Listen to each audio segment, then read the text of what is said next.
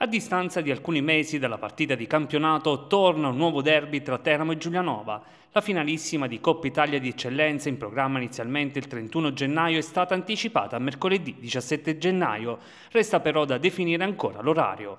Come già annunciato, la partita si svolgerà allo stadio Bonolis a Piano d'Accio a Teramo. Sarà un match a porte aperte e senza limitazioni, nonostante le preoccupazioni iniziali come già avvenuto per la partita di campionato. Una decisione presa al termine della riunione per l'ordine e sicurezza pubblica convocata ad hoc dal prefetto di Teramo, Fabrizio Stelo. Non vogliamo limitazioni, anzi vogliamo che sia una grande festa dello sport, una festa del calcio, due squadre che eh, noi siamo contenti si siano qualificate per la finale di Coppa Italia e come ho detto pubblicamente spero di rivederle entrambe in Serie D l'anno prossimo, eh, che vengono entrambe promosse. E è una finale di Coppa Italia, quindi una delle due squadre vincerà e l'altra no, quindi questa è la differenza tecnica diciamo così, eh, rispetto alle, a una partita di campionato e eh, c'è un'altra differenza che si gioca a Teramo ma è in campo neutro, quindi non c'è una squadra che gioca in casa e l'altra che è una squadra ospitante. I biglietti saranno 2.000 per ciascuna società e ora nei prossimi giorni verranno definiti anche in sede di tavolo tecnico in questura i dettagli sulla, sulla vendita e sulle, sulle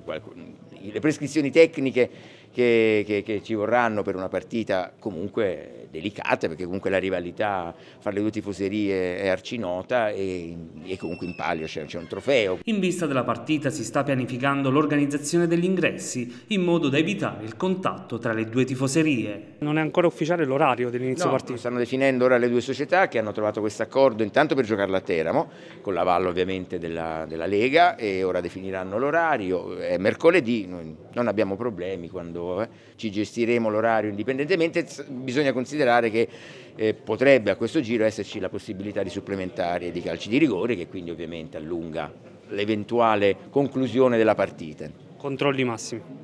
Controlli massimi ovviamente, noi dobbiamo certamente non penalizzare appunto chi va allo stadio per vedere la partita, dobbiamo prevenire la eh, mescolanza diciamo, delle due tifoserie perché purtroppo la madre dei cretini è sempre incinta ma questo non riguarda solo le tifoserie del Termo e Giulianova, questo è un problema da, che va da Bolzano a Caltanissetta.